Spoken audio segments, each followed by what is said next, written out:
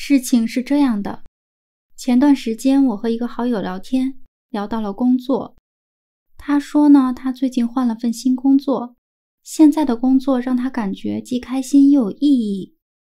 他觉得自己经过几年的努力，终于找到了适合自己的工作。我和这个朋友在高中时是同班同学，我记得那时候他特别喜欢写作，英语也很好。他说他的梦想是以后当一名记者，所以读大学时他选择了新闻专业。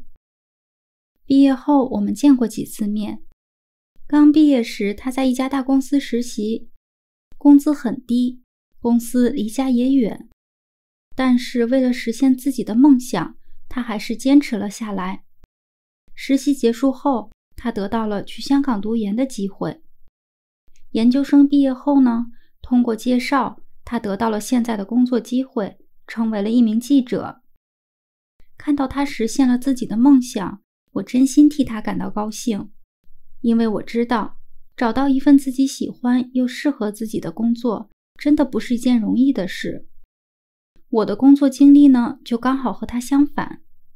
我在高中时没有什么特别擅长的学科，但是每门学科的成绩都不差。在选择大学专业时，我很迷茫，就选择了老师建议的语言专业。大学毕业后，我面试了好几次，都没有找到和自己专业相关的工作。时间一天天过去，看到身边的同学几乎都找到工作了，我开始着急，乱投简历，甚至是一些和我专业无关、完全不适合自己的工作。结果呢，就是在毕业后的两三年里，我不停的辞职换工作，甚至一些工作只做了一两个月。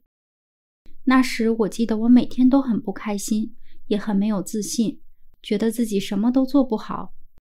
好在虽然我走了很多弯路，但是这些经历也让我弄清楚了自己适合什么，不适合什么，想要什么，不想要什么，于是最后才找到了方向。我们每天都会花很多时间在工作上，所以工作常常对一个人的生活有很大的影响。每个人都希望找到一份理想的工作，在找工作这件事上，常听别人说，第一份工作很重要，它将影响你未来的职业发展。因为可能有人像我的朋友一样，一开始就有了职业方向，但我想，可能也有人像我一样。大学刚毕业，没有工作经验，也并不知道自己想做什么，所以很难保证第一份工作就是适合自己的。